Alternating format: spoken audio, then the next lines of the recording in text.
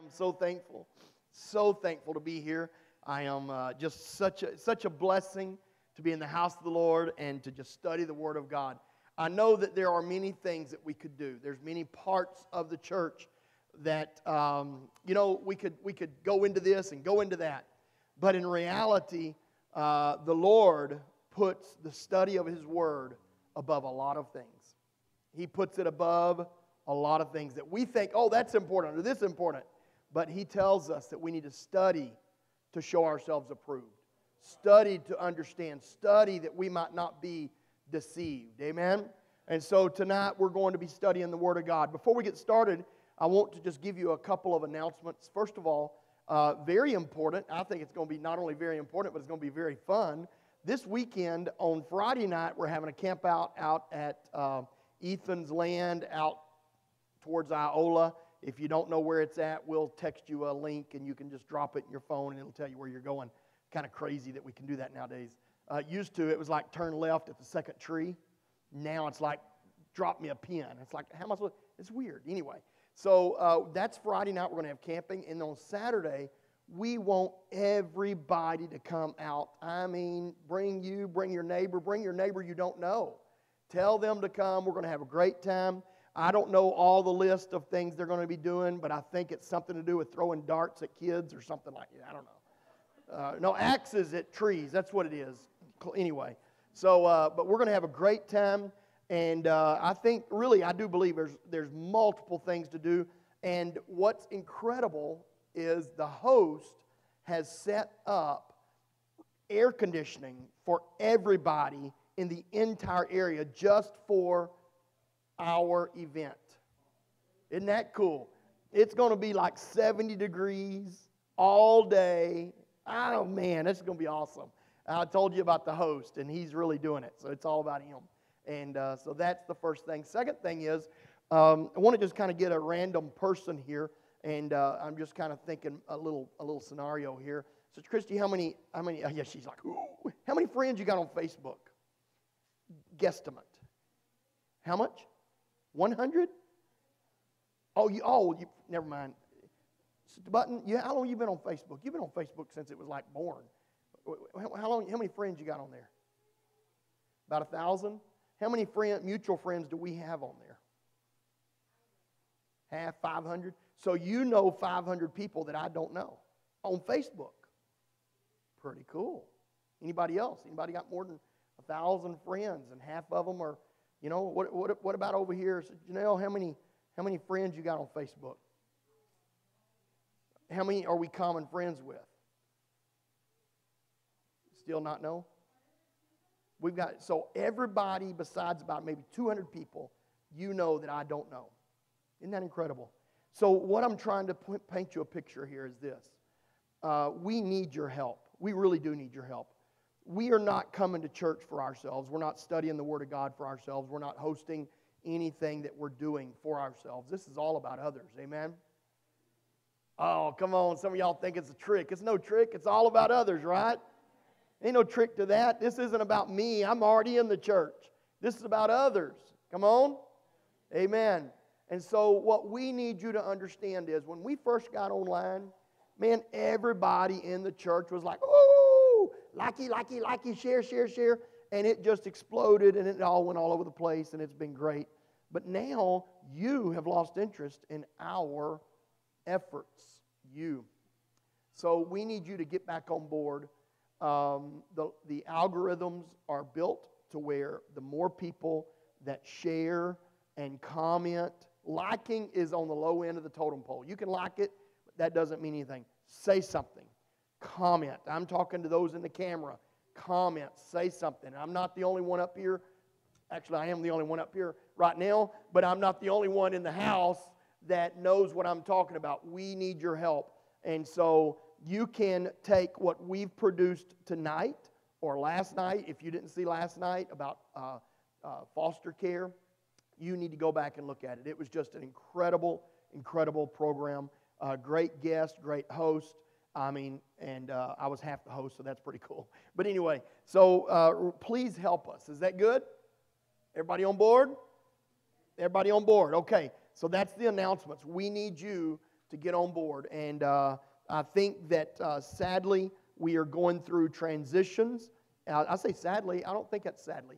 I was over. I was praying over here uh, day before yesterday, three days ago, whatever it was, on Monday, I think it was, and I was praying, God, uh, stir us up, change our norms, change our our way of doing things. And I didn't have to go very long until I felt in my spirit, God said, I did. and unfortunately, some of us haven't responded well. But God is wanting us to realize that all the work that is going on is intended so that more people would hear the gospel. Please share what's going on. Amen? Amen. With all that said, we need to go to the Lord in prayer.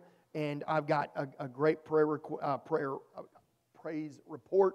I uh, want to say Sister Vita had some troubles and went to the doctor and got a great report today. We're so thankful for that. Uh, praise the Lord, yes. And uh, several of our other people that have, that have been dealing with sicknesses and problems, and uh, they've gotten great reports. Sister Shy was like cooped up in prison. She couldn't hardly get wait to get out. She's out. Watch the roads. But uh, we do want to we do want to pray for all those that are not doing well uh, and and uh, just just sick, that kind of thing. So with that said, would would you mind uh, just standing with me? Uh, we're going to have two parts to this service, actually three, counting this part. Uh, the third part I'll explain to you later, but we're going to go into a Bible study and then we're going to go into part three. But right now, let's just pray for these needs. Can y'all do that with me and ask God to touch our elders and our, our country? Lord, we worship you, we honor you. We thank you, Lord, for this day. Thank you, Lord, for your truth. Thank you, Lord, for the ability that we have within ourselves to rise up and to come into this house to, to get on the computer, to watch, Lord God, to hear uh, your word, to study your word, to show ourselves approved. Thank you, Lord, for all that you have done for us and what you're continuing to do. I pray that you would touch these that are sick, touch these that are hurting. Lord God, I pray bring peace to those that are troubled and strength to those that are weak. I pray in the name of Jesus that your hand be upon your people. Oh Lord, that you would stir our hearts to do more for you while we can. And we give you glory, we give you honor and praise. We thank you, Lord, for your truth. Thank you, Lord, for your power. Thank you, Lord, for your healing virtue, Lord. In the name of Jesus, in the name of Jesus, we praise you, Lord God. Hallelujah. Amen. And you may be seated. Amen. Now, I'm going to tell you two things quickly. First of all, things are changing. I was talking to uh, uh, Scott Goodman over here a while ago, and I want you to see something that is just, uh, I'm going to try to do it a minim- visible manifestation of what's going on. When all of this started out, COVID started out, we were put in a state of shock and fear, and we were shut down. And so, as time has gone by, we have gained knowledge, we have gained understanding of what's going on, how deadly it is, how, uh, how high the hospitalization rate is, on and on and on. We are now seeing, and we did not know how to treat patients of COVID. Now we're seeing elders. In fact, uh, his, his dad, who is, how 80? 78, pretty close. His dad got COVID last weekend, started taking hydrochloro, yeah, yeah, whatever, chlorine bleach. I'm just playing. Uh, never mind. So uh, anyway, uh, so he, he started taking uh, that and zinc and everything else. And he, on Friday he started. On Monday he was over it. It was that quick. So what we've got to realize is, if, and this is what I want you to visually see. Here's where we discovered COVID, all these issues. If you take the statements from then and you still live in that understanding, you've missed a lot of progress. And you've got to realize that we know things now that we did not know. So don't live in fear. Please don't live in fear. That, in fact, uh, I, was, I was studying a couple of days ago, and it, that scripture come through, and it says, men's hearts failing them for fear. And I thought, dear God, that's, that's where a lot of people live today. So we don't want you fearing. We want you to live boldly for Christ and take uh, advantage of the things that we have in our lives. Do you realize that some of you have had a lot of excuses to not witness? There's no excuse now. All you got to do is push share. Boy, how simple is that? I mean, there, there's, there won't be an excuse. There will be no excuses. So uh, get on board. Luke chapter 22 and 31. I'm going to read that, and I'm going to try to quickly go through part two of this message. Uh, this is part two I'm getting ready to get into. Luke chapter 22 and verse 31. And uh, you, you can see it on your screen. Uh, says, And the Lord said, Simon, Simon. Now, I read this recently, and some of you remember re- me reading it. Simon, Simon, behold, Satan hath desired to have you, that he may sift you as wheat. Satan wants to have you, to sift you as wheat. There's some meaning behind that we need to understand, and then we'll go on to some other parts of the scripture. Lord, I pray that you would help us tonight. Lead us and guide us. Let this word, Lord God, drop into the hearts of every man and, the, and every woman, every child, Lord God, and let it, let it grow fruit, Lord God, where people might live by your word. In the name of Jesus, we pray. In Jesus' name, amen. And may God bless you. Thank you. The, the scene is um, pretty heartbreaking at this point because without a pause, Jesus sitting um, at the table, the communion table, uh, possibly even with the cup still in his hand, says, There is someone here that will betray me, someone that I have, uh, I have taught, someone that I have helped, someone that I have uh, ministered to, someone that has seen great miracles. There's someone at this table. And, and like I said, I can imagine him maybe even with his hand still wrapped around the cup of communion. Someone here is going to betray, betray me. And of course, the disciples, they began to question amongst themselves, uh, uh, inside themselves, is it me? Is it this one? Is it that one? And if Luke is writing in a chronological order, we know that Judas, sometime during that questioning, uh, Judas Iscariot um, slipped out the side door, went down the steps, and did his uh, part in the betrayal of Christ. He knew, Jesus knew of Jesus's, uh, bar, I mean, Judas, Judas's bargain, his, his bargain to take his life. But Jesus also knew that it was a necessary act. But um, the, the numbing reality of that event, excuse me, I'm, I'm still kind of stopped up from last week, but the numbing reality of that, that event uh, that bared the, the shame of a man that walked with Jesus for three years. That is, that is dumbfounding. And amidst, uh, in, amidst the conversation that followed, we find um, the, the men that follow Jesus, as we know them, disciples or apostles, uh, in the solemnity of that Last Supper, they began to have a conversation amongst them First, it was, is it you? Is it me? But then, for somehow, and I don't know exactly how, the conversation turned to where they began to argue about who was the greatest in the kingdom. Man, you talk about, I'm thinking in my mind, uh, you know, Jesus is sitting there and he's talking about being betrayed, and all of a sudden he begins to see all these guys that he's teaching and training and hoping uh, that they're going to fulfill his great commission in just a few days. They're going to, they're to get it. And, and they, you know, it's kind of like he, they, they didn't catch what he taught. And so he, I'm sure there was a knowledge. In fact, I know there was a knowledge there, and I'll explain that a little bit more as we go. But there was a knowledge there that these were just common men. And, and you have to realize that they weren't full of the Spirit at this point. They were just common men. They were just working off of zeal and ideology. They, they, they still had in their mind a earthly kingdom that was going to be set up. And, and so it was hard for them to grasp uh, not having ambition. It was hard for them to, to lay down their ambition and just, just be a servant. For that is really what Jesus had been teaching for three years. I want you to be a servant. You think, think about that for a moment. All of our lives, we have been following, most of us, many of us, have been following Jesus Christ. Whether, whether it's been in this church or another church, I'm going to be a follower. We made up our mind as a young person. I'm going to be a follower of Jesus. And yet, sometimes we don't really grasp the meaning, what that, what that really means. We don't understand that Jesus is saying, I want you to be a servant. I want you to be a servant. It's hard to grasp. He taught sacrifice, he exemplified sacrifice, he taught sacrificial or, or servant leadership.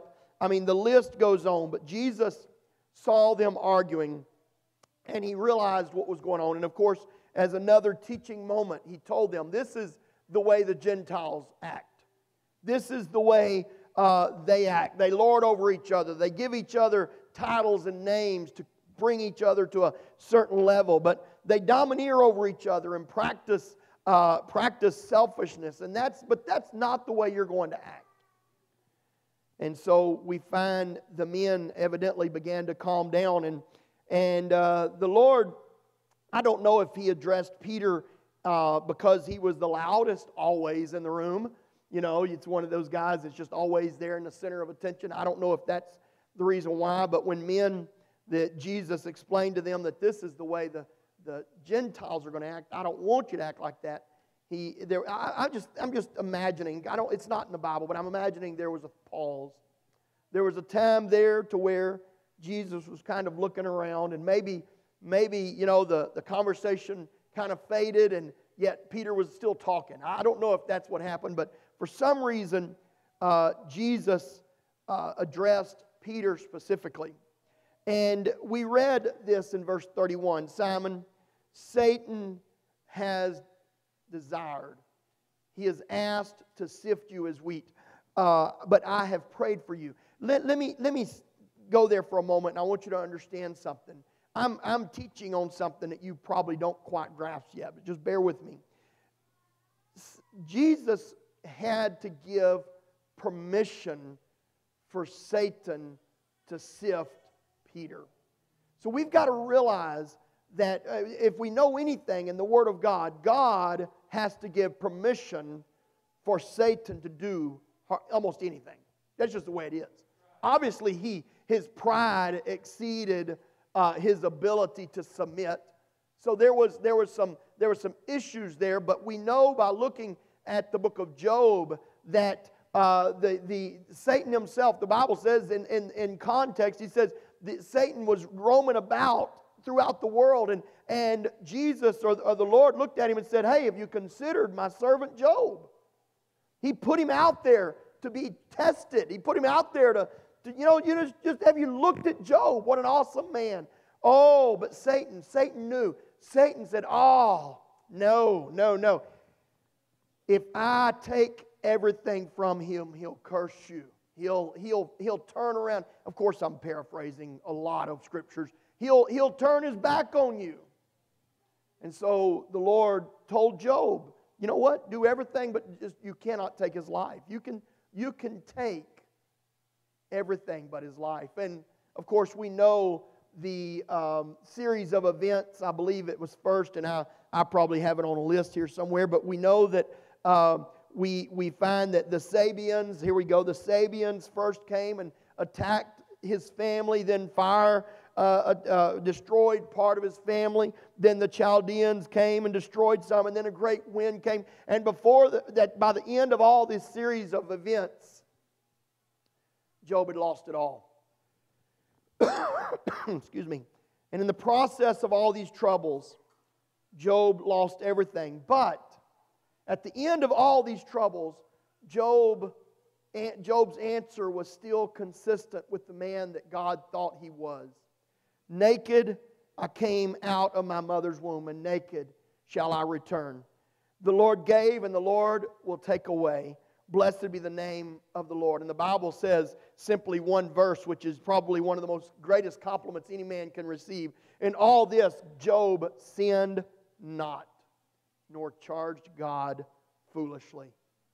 God, why did you take this from me? Why did you do that? That's not, he didn't even, it's just incredible that a man like that would lose so much and then not sin, not, not even charge God falsely. Foolishly is what it says. Picture, though, is that Satan is standing before God, expecting this man to fail and to fall.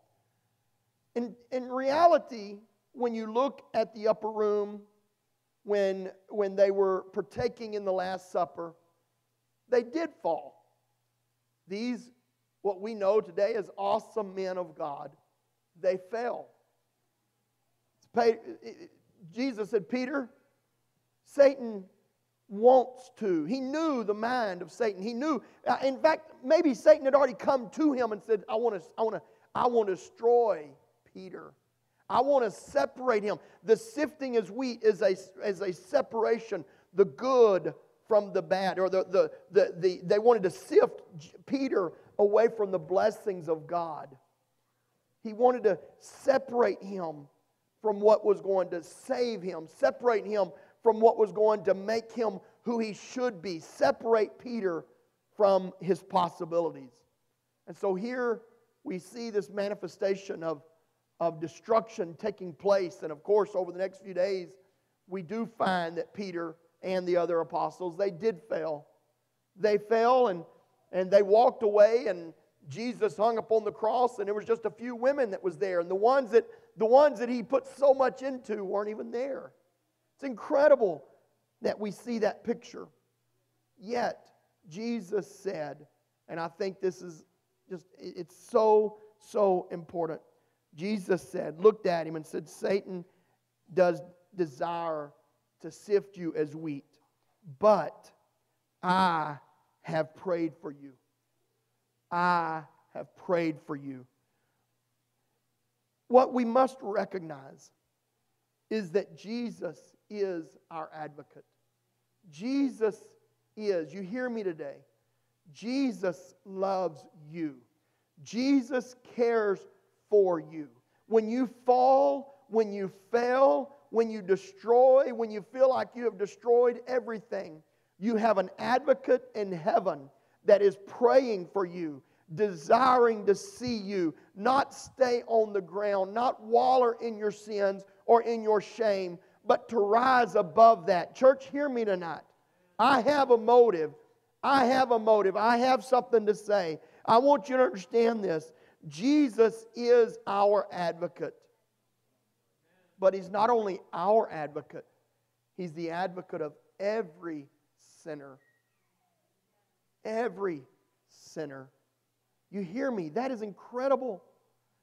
I happen to have the high privilege of having someone explain to me their reason for not being at church over the last several weeks or months or whatever it may be the other day. And I was like, explain it to me. Why not? You know, here I am. Okay, y'all know I'm pastor.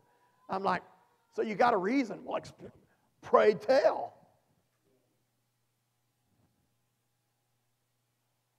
Oh, if we could just see through the eyes of Jesus. If we could just see through the eyes of Jesus. I was told that they're just embarrassed. That when they walk back into the church, people will know that they failed the test and they're going to be ashamed. I thought, dear God, why is that? Why? Why is that? And I know, I realize the reason why. People look through their carnal eyes and they don't see the Spirit of Jesus. And unfortunately, sometimes they look at us and don't see the Spirit of Jesus. God help us to rise above the junk and the, and the intimidating factors and the shame and the, and the things that are behind us and the things that are before us and, and, and not judge so harshly that those that have fallen,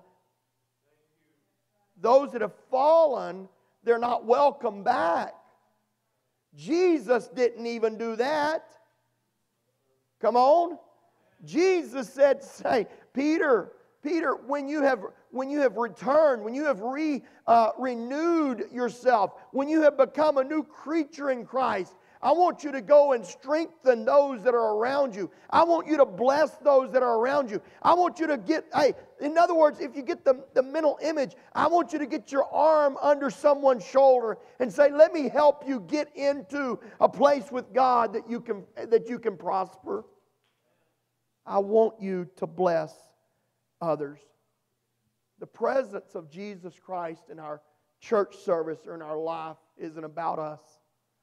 Boy, I wish we could understand that and get a, grip, get a grip on it. The presence of Jesus Christ in our life, it's not about me. It's not about my prosperity or my blessings. It's not about it's not about my title or, or my spirituality, even. I know that's awesome. I, don't get me wrong. I'm not against being spiritual. But we, it, all of this is about saving the lost, about reaching those that feel unreachable, and about giving hope to those that feel like they have no hope. God help us. God help us. Their love, the disciples, the apostles, the love for Jesus, their love and devotion for Jesus ran just as deep as ours. I want you to realize this. Just bear with me for a moment. I'm going to close here in a minute. We're going to shift gears. People are wondering what I'm going to do next. Hang tight. Their love and devotion for Jesus ran just as deep as ours, possibly deeper. They loved Jesus, but they failed Jesus. Jesus' love for them runs just as deep as it does for us. And it runs just as deep for those that would hear me tonight.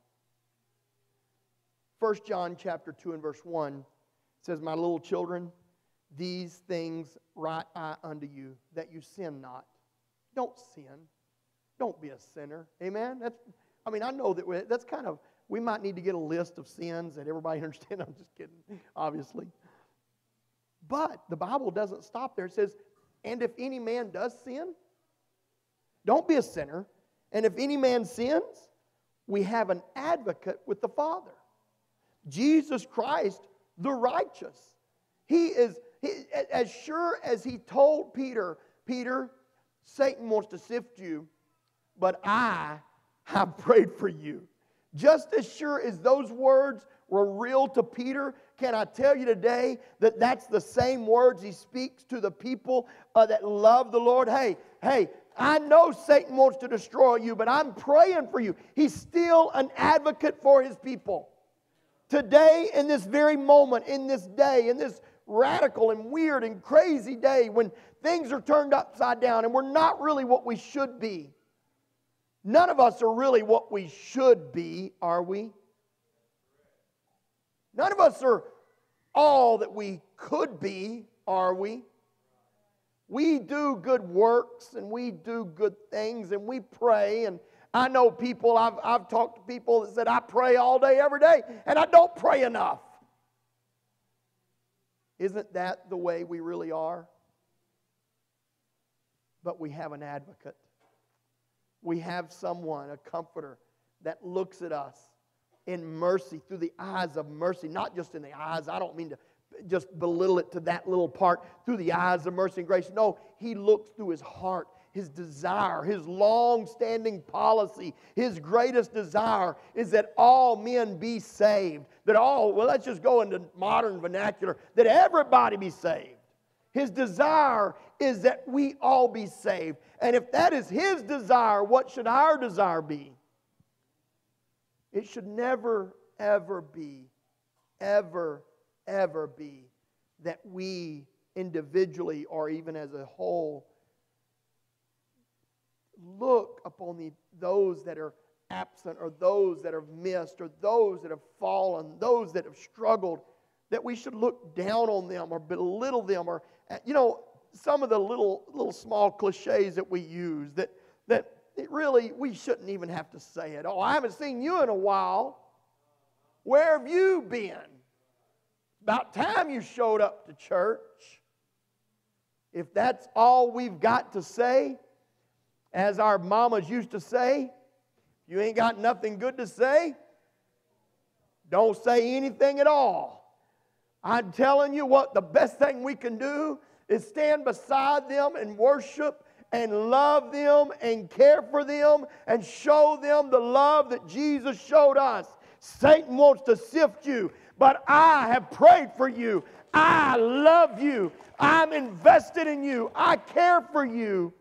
I care for you. I care for you.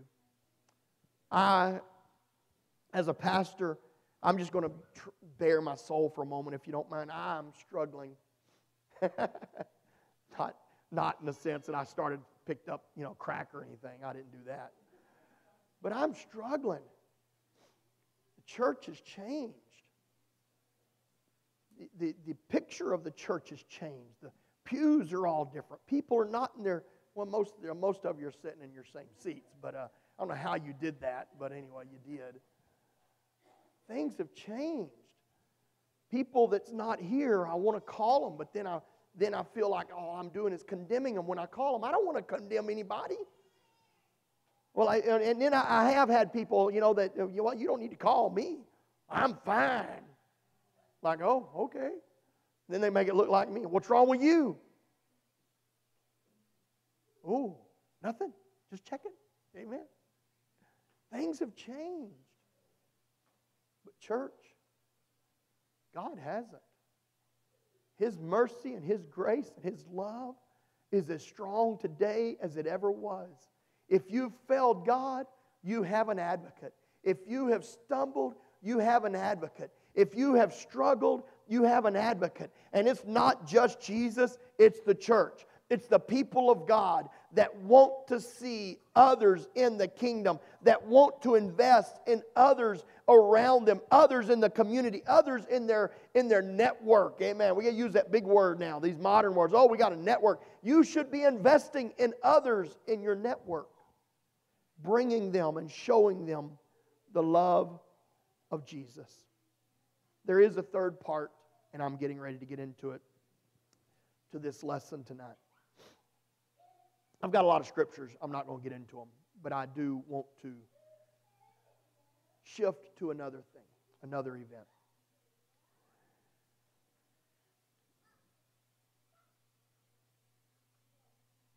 Let me, let me, before I go, let me, let me throw this in there. Satan doesn't need any help. Amen. He don't need any help. Uh, we don't we don't need any more accusers in the kingdom. We don't need any more accusers of the brethren. We don't need that. Our greatest ministry is not what you think. And I'm going to tell you this from my own perspective. My greatest ministry is not preaching or pastoring. I know some people want me to be their pastor, some people want me to be their preacher.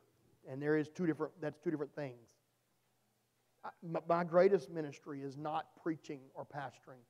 My greatest ministry, my greatest ministry is reconciling souls to the kingdom.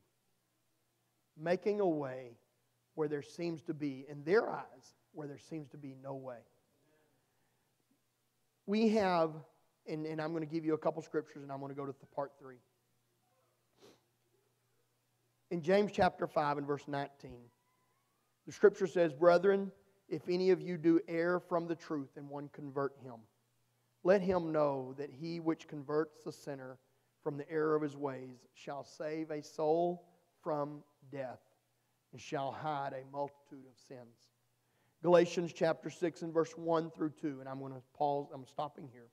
Brethren, if a man be overtaken in a fault, you which are spiritual, restore, restore such a one in the spirit of meekness, considering yourself or thyself, lest thou also be tempted. Bear ye one another's burdens, and so fulfill the law of Christ.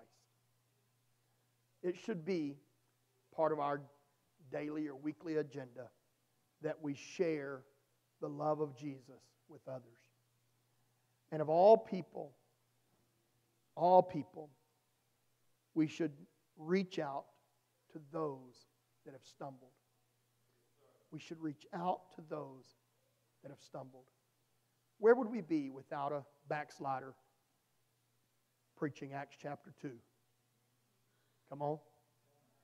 Where would, be, where would we be without having a backslider stand up and say, Thus saith the word of the Lord? I'm thankful that God gave a backslider the first message that was ever preached to the church. So tonight, I want to bring us to another, again, third part, if you will, of this service. And, and they might want to um, not record this. It, it will just, what we're going to do is we're going to have a time of prayer. From our superintendent, in the midst of national crisis and uncertainty, it is essential that we fervently intercede for the upcoming 2020 U.S. presidential and congressional elections. Second Chronicles chapter 7 and verse 14 says, If my people, which are called by my name, shall humble themselves and pray. and seek my face and turn from their wicked ways. Then I will hear from heaven and will forgive their sin and will heal their land. A national day of prayer for 20 for the year 2020 of the US for the excuse me for the 2020 US presidential and congressional elections will occur on Wednesday, October the 14th. Churches are encouraged to join in corporate prayer for these pivotal elections that will convene on Tuesday, November the 3rd of 2020. Following are the prayer points that we would like to pray. Number one, pray for those who are candidates in the upcoming presidential and congressional elections. Intercede that God's will be done regarding whoever he desires to fill the open positions of these offices, as well as other vacancies. His word declares in Psalms 75 and 7 But God is the judge. He putteth down one and setteth up another. I would like for all of us to rise, if you don't mind. We're going to spend a few moments of time. I want you to, I want you to, but if, if, and I pray to God that none of you do leave, but um, if, if you leave before we get through praying, I want you to take um, one day a week minimum. And I'm going to encourage you to start today, Wednesday, and start the next Wednesday and the next Wednesday, to pray. Just spend your time praying for our elections. I know you, most of you, most of you do not realize the possible at the least is the, is the easiest way to say it. It's probably more than probable is what the right word would be. The probable chaos that some people are designing for our nation if certain people don't get elected. Church, America has been a God, a, gift from God to the world. I, I hope you believe that. We are an exceptional nation we have done a great job, but we're not great. We're not amazing, but we are a hand that God can use. And what we have done is we have turned our back on God. And I want us as a group, as a church, you hear me tonight, I want this to be as intense as we've ever prayed. God, please touch our nation. Touch these candidates. God raise up in, I'm telling you right now that thousands of other churches around our nation are praying those very words. And I want us to join with them right now. Can we pray that God would touch our nation and touch our elections? Lord God, we come before you, our King, our Savior, our healer.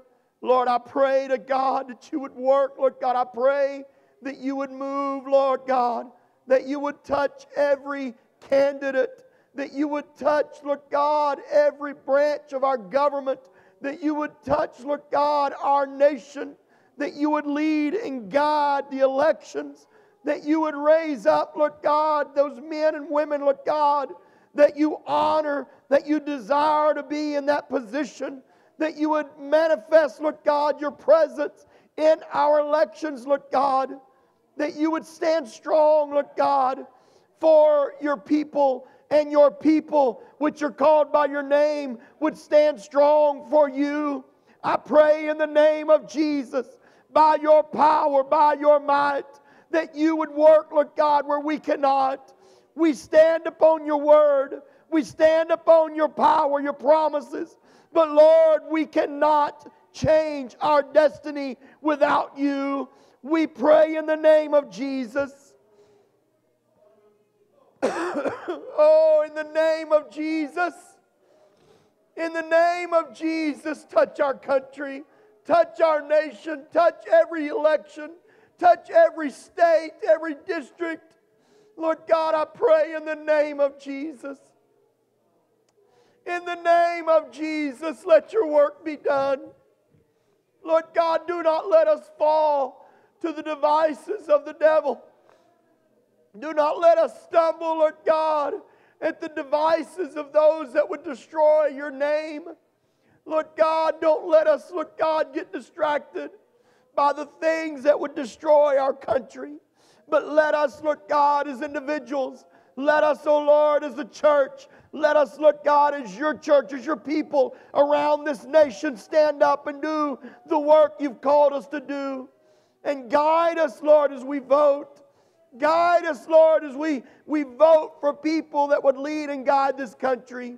And I pray that you would help those people, Lord God, oh Lord, to be godly to the best of their ability, to follow after your word, Lord God, to the best of their ability. That your, your power would manifest itself when they go to vote, when they, when they make their rulings. Oh Lord, when they make their judgments, Lord God. I pray right now in the name of Jesus that you would touch our Congress, those that now that are debating, Lord God, the next uh, Chief Justice or the Justice on the Supreme Court. I pray that you would touch those people, Lord God, that you would touch their minds and their hearts, that they would put, Lord God, the right person, the, a righteous person, Lord God, in that seat on the Supreme Court. Lord God, that you, Lord Jesus, would receive all glory and honor through that court, Lord God. Oh God, oh God, oh God, oh God. Lord, hear our cry. Lord, hear our cry. We humble ourselves before you. We repent of our sins, Lord God, as a nation and as individuals. Forgive us, Lord, I pray. And hear our cry. Hear our cry. Hear our cry, Lord God. We seek your face. We seek your will. We seek your way, Lord Jesus. Oh, in the name of Jesus. In the name of Jesus. In the name of Jesus. Oh, in the name of Jesus in the name of Jesus.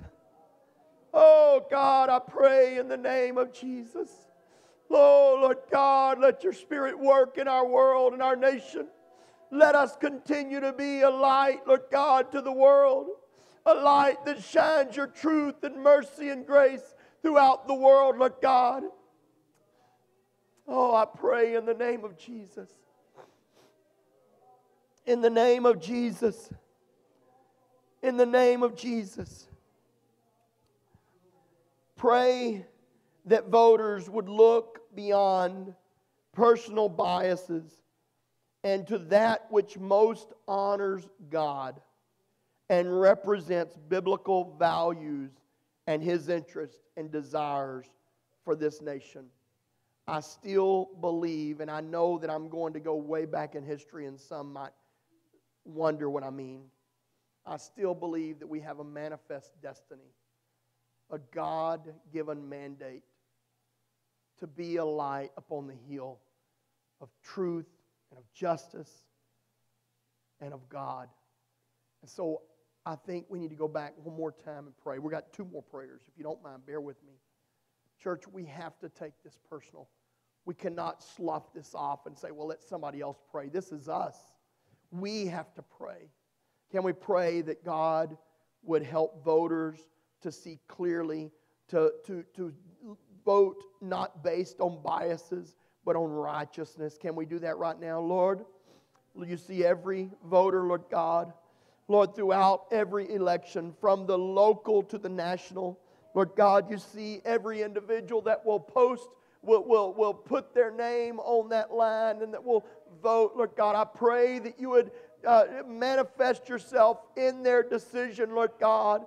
Give them a heart and a mind to vote based on righteousness and on truth, upon the, on the thing that would most, uh, most uh, please you, Lord God. I pray in the name of Jesus that you would work, Lord God, in every voting booth in every county, in every jurisdiction, in every precinct. Lord God, I pray that you would manifest yourself in every voting booth throughout this country.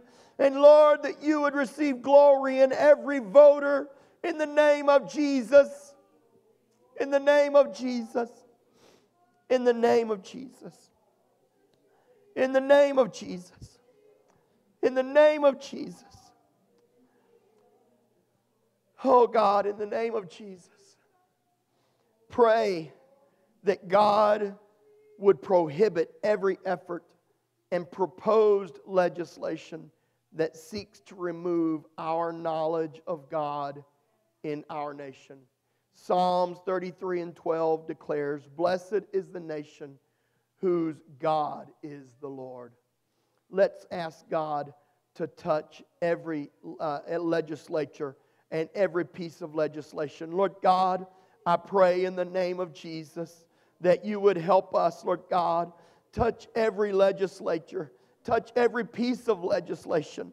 I pray in the name of Jesus that you, Lord God, would work against every uh, illicit, every ungodly piece of legislation that you would work against those that would rise up in the Congress or in the Senate or in, in the county courthouse or wherever else it may be that would try to remove this nation from our love for you. I pray in the name of Jesus that you would work where no man can work. Work in the hearts and souls of your people. In the name of Jesus.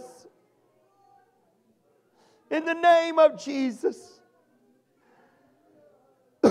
in the name of Jesus, Lord, I pray right now that you would work, Lord God, through every uh, lawmaker, Lord God, through every judge, through every courthouse, Lord God, that you would work, Lord God, through every one of these, Lord Jesus, through the law enforcers, Lord God, that you would strengthen their hand to give you glory above everything else.